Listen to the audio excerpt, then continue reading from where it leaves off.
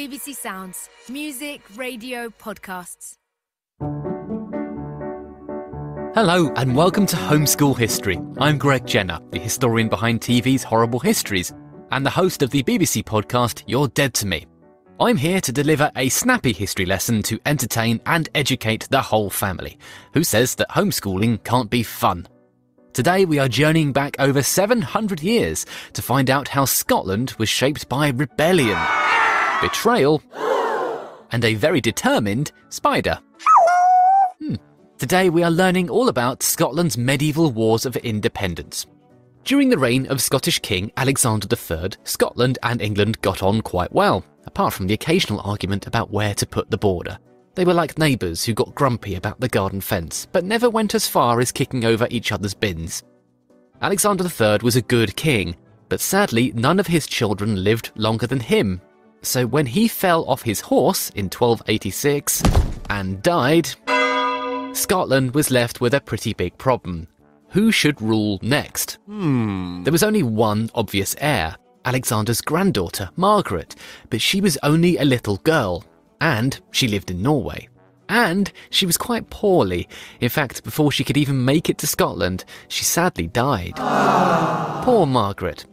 So now the crown of Scotland was well and truly up for grabs meaning lots of posh people were basically scouring the medieval version of Ancestry.com to see if they had a legal claim to the throne. I'm 5% Scottish King. Some of the applicants were Scottish, as you'd expect. Hello! Some were English. Hello! And weirdly, one of them was Dutch. Hello! Huh.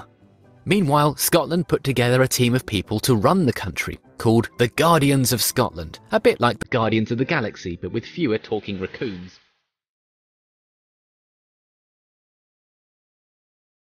And much like the Guardians of the Galaxy in the movies, they couldn't agree on much. So the Guardians turned to King Edward I of England for help in choosing the next king. Sneaky Edward agreed to help, but saw it as an opportunity to control Scotland by controlling whoever he chose. Naughty. On his shortlist were John Balliol and Robert Bruce, who were both related to King Alexander III. And in the end, Edward gave the crown to John Balliol in 1292. You're hired. But things were about to get nasty. Uh oh. Edward started pushing his luck by treating Scotland like his own kingdom. He demanded Scottish troops join England in a war against France. But Scotland was like, uh, nope. Instead, they teamed up with France against the English. Edward had a massive strop, and in 1296 he invaded Scotland.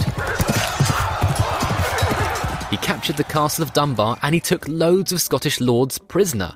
He even captured the sacred stone of Scone, on which all Scottish kings were ceremonially crowned. It was a disaster for Scotland, and King John Balliol quickly surrendered. I surrender. Edward booted King John off the throne, and allegedly even threw the Scottish crown in the mud to show his disrespect. Not very neighbourly. Edward was now in charge, but soon he discovered the Scots didn't want him in charge. Some Scots decided to rebel, including William Wallace and Andrew Murray. I'm Andy Murray. No, not that Andrew Murray. They weren't tennis players, they were Scottish rebels fighting back against the English invaders. Using cunning battle tactics, the rebels beat the much bigger English army at the Battle of Stirling Bridge, leaving the English shocked and humiliated. Not least because part of the cunning tactics used by the Scottish had been to hide in the trees like a sneaky squirrel. And why were they waiting in the trees? Well, they were waiting for the English to try and cross the bridge. And the clever thing was, they waited for half of the army to get across before racing out to attack the English, leaving the other half of the English army on the wrong side of the river, unable to do anything useful. In fact, a lot of the English troops were stuck on the bridge. And I don't know if you've ever tried to fight a battle on a bridge, but it's actually quite narrow and a little bit wobbly, and also you tend to just fall in the water. One of the English knights who survived the battle had one of my favourite names from history. His name was Sir Marmaduke Thweng. What a fantastic name! Stirling Bridge was a huge victory for Scotland, but Andrew Murray was sadly killed in battle, leaving just William Wallace in charge of the rebels. Next came the Battle of Falkirk, and this time Wallace's tactics were a bit rubbish. He tightly packed his soldiers together with their spears pointing upwards like a giant deadly hedgehog, a good idea for stopping an English cavalry charge, but not a good idea against English archers who just showered them from afar with lethal arrows.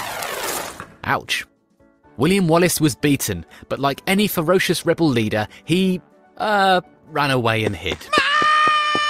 No one could find him for ages. It was like a massive Where's Wally, and he wasn't even wearing a stripy red t shirt. Anyway, do you remember King John Balliol from before? Hello. Well, he'd been imprisoned in France, and eventually William Wallace showed up to try and get him out and get him back on the Scottish throne. But not everyone fighting for Scottish independence wanted King John back. One guy in particular reckoned he should be king instead. His name was Robert Bruce, a bit confusing because his dad was also called Robert Bruce, and his grandfather had also been called Robert Bruce. In fact, quite a lot of Robert Bruces. So uh, we call him Robert the Bruce because he was going to become quite important in the story. I suppose maybe I should be Greg the Jenner, right? It's my show. No? All right, suit yourself.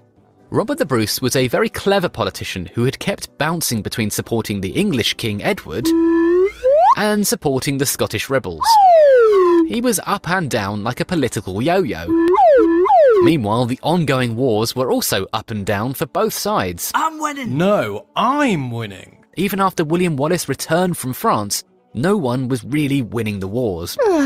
In 1303, England and France made peace. Bad news for Scotland, which relied on French support.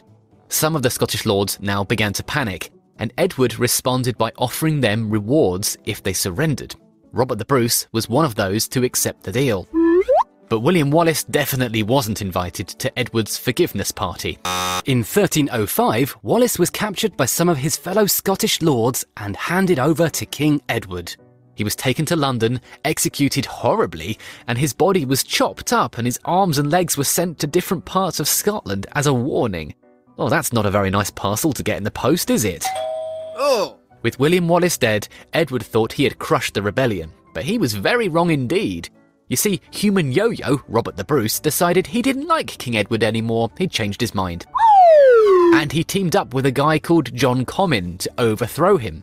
Unfortunately, their friendship was super tense. They both wanted to be king, and when Edward found out about the plot, Robert accused John Comyn of betraying him. They got in a big old row, and Robert killed John. Ah! This was a huge scandal. Not only had Robert the Bruce killed a fellow Scot, but he'd done it in a sacred church. Double sin. Robert now ran off to Glasgow and found a bishop to officially forgive him for doing a church murder. And he then got himself crowned King Robert I of Scotland. Fancy. But Edward wasn't taking this lying down. He came after him hard. Robert was defeated in battle, his family were killed, and he had to run away and hide. According to romantic legend, Robert now had to hide in a cave, where he was soon transformed into Spider Man. Spider-Man, Spider-Man, does whatever No, not like that. He didn't get bitten by a radioactive spider, and nor did he get any superpowers. He just saw a spider trying over and over again to spin a web and never giving up, and that inspired him to keep fighting. In 1307, Robert returned to Scotland with troops from, uh, Ireland. Hello. Okay, fine. And Robert then had a massive stroke of luck because King Edward I of England was so old, he died. This left Edward's son, Edward II, in charge. But Edward II was considered a weak and disappointing sequel. Robert now used his army and his clever tactics to boot the English out of Scotland. They even disguised some soldiers as cows in order to sneak up on Roxburgh Castle at night. Moo. Hmm, is it me or did that cow have a Scottish accent? Edward II tried to defeat Robert at the Battle of Bannockburn in 1314, but he lost. Loser. It seemed like nothing could stop Robert the Bruce, so he just kept heading south, burning crops and stealing stuff as he went, including stealing cows, presumably for more fancy dress options when capturing castles. Moo. The Scottish army made it all the way to North Yorkshire, but stubborn Edward II still refused to recognise Robert as the rightful king of Scotland. Now, things were going well for Robert the Bruce, but all this war got him in trouble with the Pope, who was the head of the church. Robert was excommunicated, which is the worst punishment you could get without being executed. But in 1320, Robert's supporters sent the Pope a famous letter called the Declaration of Arbroath, which said that Scotland was its own country With its own king, England was a massive bully, and Robert the Bruce should be allowed back into the church's protection. The Pope agreed, eventually.